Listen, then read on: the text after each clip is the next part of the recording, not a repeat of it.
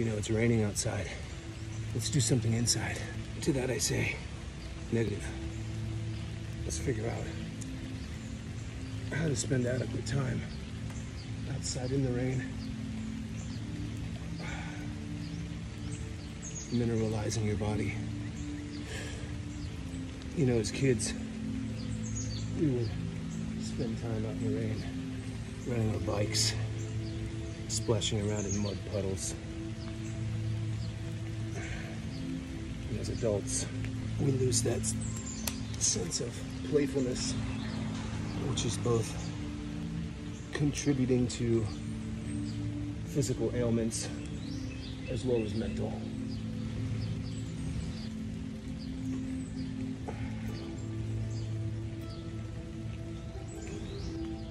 I'm sure the California license plate will uh, do most of the explaining to the neighbors.